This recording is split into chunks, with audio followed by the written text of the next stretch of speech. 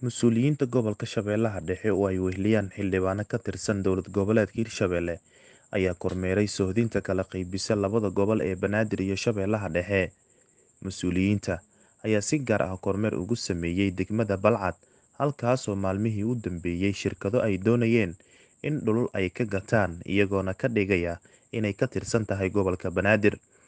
Guddoomiyaha degmada Balcad Qaasim Furdug ayaa sheegay inay jiraan shirkado dhulalka Shabeellaha Dhexe ku daraya gobolka Banaadir.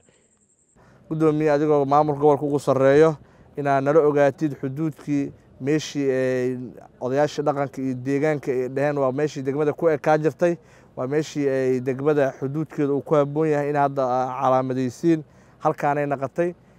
Caqabadaha jira guddoomiye waxaa ka mid ah dhulkii degmada ay lahayd amba deegaanka hirshabeelle uu lahay amba gobolka shabeellada dhexe uu lahay inay in lagu jaraayo gobolka banaadir. Waxaan rabnaa marka inaan adigoo maamulka degmada iyo maamulka gobolka afkooda ku hadlaysid in un wax laga yidhaahdo shirkadaha sharciyeyaasha ah ee isu bedelay qowliisato burcad dhuleed. Aan dhihi karo maxaa yeelay qofka gooflaha inta loo tago waxaa la leeyahay goofkaada wuxuu kuugu qiimo badan yahay xamar. Waa inaa xamar kuugu jaraa dhulkaada dhulkii sidaasaa xamar looga dhigaa maamulka gobolka banaadir iyo degmooyinka aniga hadda ma dhahaye caqabaday nagu hayaan maxaa yeelay wixii waxa wax u geynaya waa sharciyeyaasha. Iyagaa ka shaqaynayo iyagaa dhahayo meeshaan waa xamar iyagaa dhahayo meeshaan waa muqdisho ayagaa dhahayo waa yakshiid ayagaa dhahayo waa dayniile ayagaa dhahayo waa hilwaay ayagaa dhahayo waa daarusalaam. Laakiin waxaan rabnaa inaad shirkadahaas mudan guddoomiye si sharciga iyo qaanuunka dalka u yaallo wixii uu ka qaba in lagula dhaqmo. Maxaa yeelay waxay ka shaqaynayaan waxaa waaye nabaad guurin deegaan waaye. Dadkii deegaankaasay nabaad guurinayaan dadkaasna meel meelay meelay ku salaysnaa karaan maanta ma jirto. Guddoomiyihii hore ee degmada balcad maxamed xuseen gudbaaye iyo xildhibaan maxamuud axmed gacal ayaa sheegay in maamulka shabeellaha dhexe loogu baahan yahay inay tallaabo ka qaadaan dadka sharci darrada u isticmaalaya dhulalka degmadaasi annagu ma lihin yaa dhulka yaan la maalgashana ma lihin. Laakiin waddada saxda aheeday oo lagu maalgashanayey oo sharciga aheeday waa degmada balcad. Ha ka soo wareegaano degmada balcad. Ha yimaadiino degmada balcad. Cid kasto ama nootaaya ha noqoto ama ii sheeg dukumiinti rasiida sabarloog ha noqdaano waa inay ka qaataan degmada balcad sida saxda aheedba.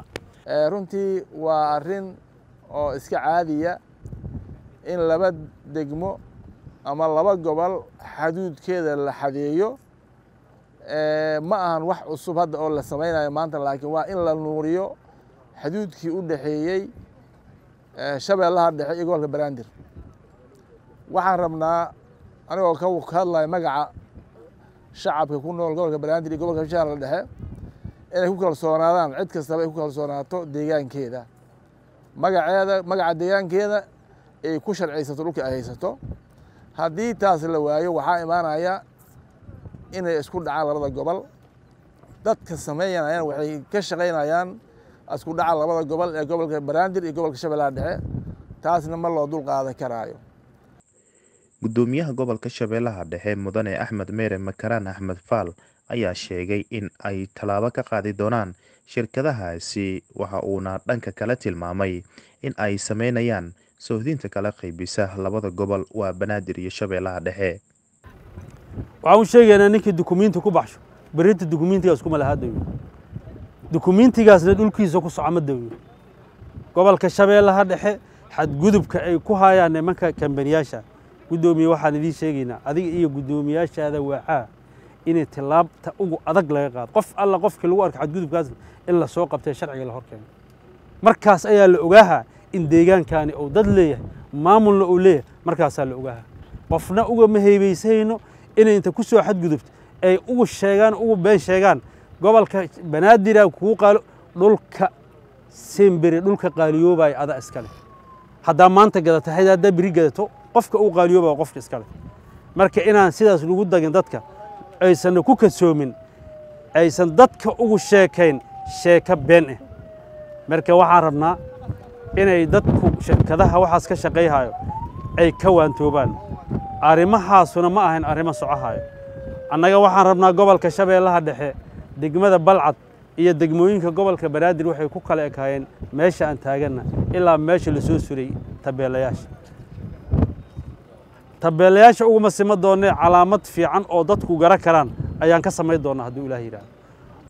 Cali tali cabdi warbaahinta shabeelle jowhar shirkadda hormuud telecom waxay macaamiisheeda u samaysay qiimiyo dhimis ballaaran xirmooyinka internetka iyo kaarka ku hadalka ee adeega anfac balaas xirmada cusub ee labaatan iyo shanta senti waxaa laga dhigay afar boqol oo m b iyo toban daqiiqo oo ku hadalka gudaha ah halka xirmada bointy five kana laga dhigay siddeed boqol iyo konton m b iyo soddon daqiiqo oo ku hadalka gudaha ah xirmada halka doolar waxaa laga dhigay laba g b oo internet data ah boqol daqiiqo oo ku hadalka gudaha ah iyo konton fariin qoraaleed. Laba doolar waxaad ku heli kartaa shan g b oo data ah laba boqol oo daqiiqo oo ku hadalka gudaha ah iyo boqol fariin qoraaleed. Shan doolar waxaad ku heli kartaa laba iyo toban g b shan boqol oo daqiiqo oo ku hadalka gudaha ah iyo boqol iyo konton fariin qoraaleed. Toban doolar waxaad ku heli kartaa labaatan iyo sideed g b oo internet data ah kun daqiiqo oo ku hadalka gudaha ah laba daqiiqo oo dibadda ah iyo saddex boqol oo fariin qoraaleed ah ugu shubo e v c balaaskaaga xidig toddoba labaatan iyo afar xidig nambarka xidig lacagta afar gees ama kaarka ku hadalka xidig boqol labaatan iyo lix afar gees kadibna raac tilmaamaha